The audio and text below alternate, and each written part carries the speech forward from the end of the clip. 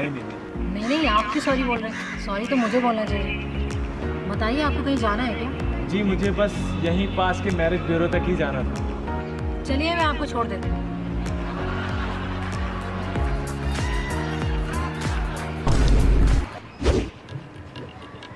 नमस्कार सर जी। हाँ हाँ नमस्कार नमस्कार। बैठो बैठो। मैडम जी बैठिए आप खड़ी क्यों हैं? बैठ जाइए। हाँ शादी के लिए आए हो? हाँ हाँ शादी के लिए तो आए हैं।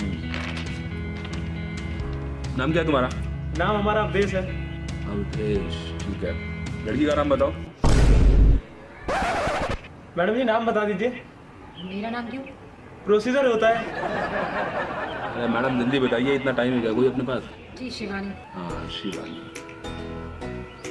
ये लीजिए सर पेपर हो गए हैं तैयार। लाइए लाइए कहाँ है? ये ये यहाँ। साइन कर दीजिए फटाफट। ये लीजिए हो गया। मैडम को करवाइए ये हमारे हस्ताक्षर के नीचे ही आपको साइन करना है। क्या हुआ? अरे पेन नहीं मिल रहा अरे उठाइए वो रहा पेन। अरे मुझे पेन नहीं दिख रहा है। नहीं। अरे मुझे इतनी दूर से दिखाई दे रहा है आपको वहाँ से नहीं दिखाई दे रहा है। उठाइए ये रहा।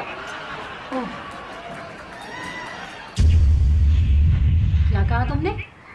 तुम्हें दिखाई दे रहा है? मुझे कैसे दिखाई दे सकता है? मैं तो अंधा हूँ ना। तुमने अभी कहा तुम्हें दिखाई दे रहा है। वो मैंने अपनी मन की आँखों से देख लिया।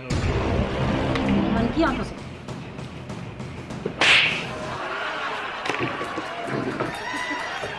चल भाई चल। नेक्स्ट दूसरा नंबर आओ।